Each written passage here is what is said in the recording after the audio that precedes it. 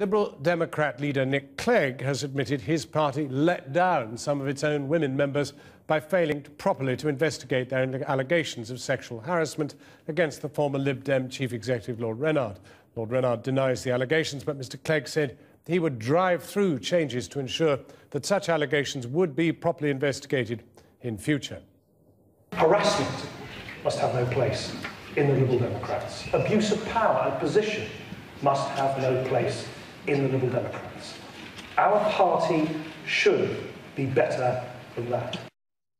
And in the last few minutes, the Women's Minister, Jo Swinson, has had this to say. A number of women confided in me about similar experiences.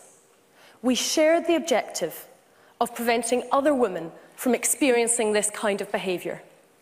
They wanted to make it stop.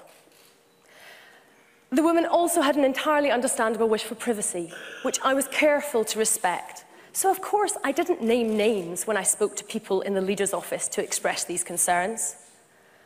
I made sure that further action was taken. And as you know, Dan Alexander made clear that any such behaviour was unacceptable and had to stop. I told the woman who had confided in me what I'd done and encouraged them to let me know if they became aware of any subsequent incidents. If there were fresh reports of this kind of behaviour, I would have insisted on further action. Let me be clear. To this day, I have not heard any account of inappropriate behaviour subsequent to the action Danny and I took. Well, we hear from the senior Lib Dems shortly, but first we're joined by, in the studio by Kat Banyard, founder of UK Feminista, an organisation that promotes gender equality. Do you think what you've just heard there kind of takes you anywhere towards feeling that perhaps the Lib Dems understand the gravity of what's been going on? Well, what we know is that all parties are failing to take the issue of women's equality seriously enough. Because the bottom line is, feminism is an unfinished revolution. Many of the legal rights that women won decades ago are yet to translate into reality, such as the right to equal pay.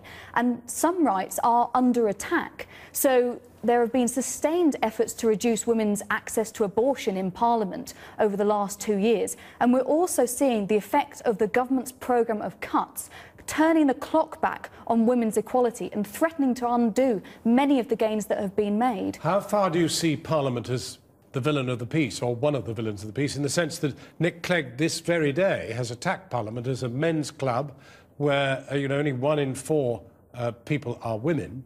Uh, do you think that that's at the core of the problem? Well, as you say, women are outnumbered in the, the corridors of power in this country. Um, and women have spoken out about sexist attitudes and cultures that exist there.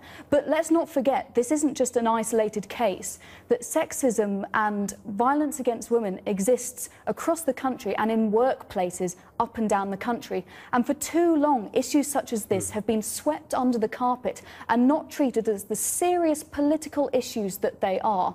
So it is crucial that the discussions that are happening now around high profile sexual abuse cases and mm. sexual harassment cases are acted on. That we use this as a tipping point to galvanise action in government and across the country to start tackling violence against women. But when we talk about feminism, what happened? Because, I mean, when I was your age, feminism was really taking hold, and the women's liberation movement was strong and powerful, very well represented across the community, not in Parliament, obviously. But there was then a lull, and it seems that your generation are having to pick up the baton. What happened? Well, as you say, feminism was sidelined um, as a concept and as a movement very successfully. Who and do it, you blame? Well, it wasn't an accident. The whole point is that feminism challenges privilege and it challenges profit.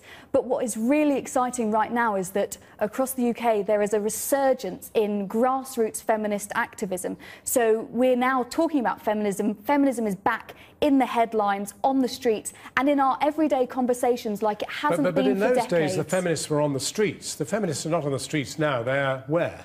They are on the streets. And in fact, there'll be thousands on the streets of London tomorrow at Million Women Rise. And we've seen the number of grassroots activist groups double in the last two years. Um, yesterday, UK Feminista launched Generation F, which is supporting young people to take action for women's equality. Because what's really heartening is that it's young people who are starting to come to the forefront and take action in their schools, for instance. Mm. And this is incredibly important because what we know is that one in three girls at school experience sexual harassment on an almost daily basis. Right. Well, now, uh, we can bring in somebody who was very much at the forefront of uh, women coming forward in politics, at least all that time ago, and is still at the forefront of women in politics, Shirley Williams.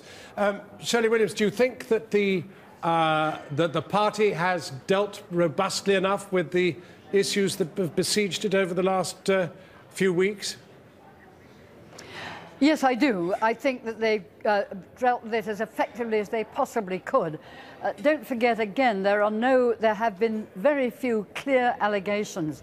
What we've done is set up a complete structure, not just for now, but for the future. And that was made very, very clear in an outspoken speech by Nick Clegg this afternoon. Well, Nick Clegg really does seem to have taken both the allegations, which are denied, of course, but the allegations against the former chief executive uh, and, and the whole issue of sexism and indeed the lack of women in politics very seriously today. But uh, I think at the beginning you felt that this was all got up by the media. Oh, no, I didn't. Uh, what I do think has been got up by the media was the, I think, the level of the attacks on Nick, given that I think he took the steps he could take in the circumstances of no serious individual allegations, were completely adequate. And what he was treated as doing was somehow escaping from the whole connection and uh, saying one thing one day and one thing the next. That really wasn't true, and that's what made me very cross, because it went on day after day after day as if nobody else had ever had a situation like this to deal with. And of course, all parties have had, sadly. Are you shocked that uh, nearly four decades after you were first in cabinet, that there are still so very, very few people in uh, women in politics, and who do you blame for that? I think, Jon, part of the trouble is the clubbiness of British politics. It's not just politics. Exactly the same is true, as you know as well as I do, with the city, with the big businesses, and so forth, that there is a great deal of clubbishness and it tends to exclude women.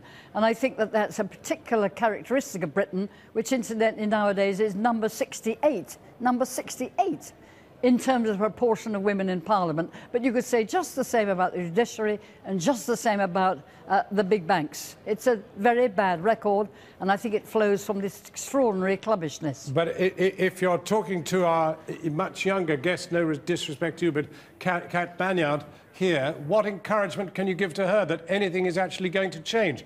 I mean, she, she is going to be part of a very big demonstration tomorrow of young women. Uh, what, what, what, honestly, what signal can you give her that there is actually going to be any change whatever in the next 10 years? Well, I think that, that, that, a change is coming. It's just so extraordinarily slow. But if you look at some areas, for example, medicine, uh, teaching, academic life, in science, and all those areas women are surging forward. The places where it really is going wrong is those which are still heavily controlled either by a relatively small number of the political elite who are almost all men, or in some cases by professions which are dominated and keep women out.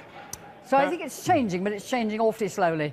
Baroness Williams and, and Kat, thank you both very, very much indeed.